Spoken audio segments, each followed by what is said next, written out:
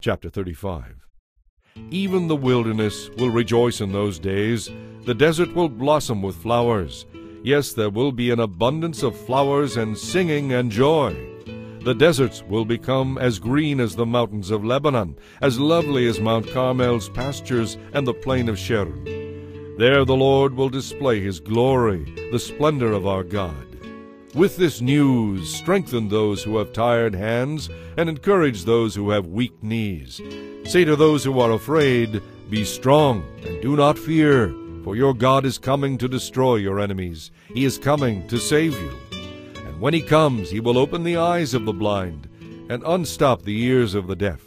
The lame will leap like a deer, and those who cannot speak will shout and sing. Springs will gush forth in the wilderness, and streams will water the desert.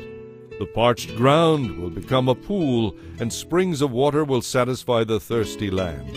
Marsh grass and reeds and rushes will flourish where desert jackals once lived. And a main road will go through that once deserted land. It will be named the Highway of Holiness. Evil-hearted people will never travel on it. It will be only for those who walk in God's ways, Fools will never walk there. Lions will not lurk along its course, and there will be no other dangers. Only the redeemed will follow it. Those who have been ransomed by the Lord will return to Jerusalem, singing songs of everlasting joy. Sorrow and mourning will disappear, and they will be overcome with joy and gladness.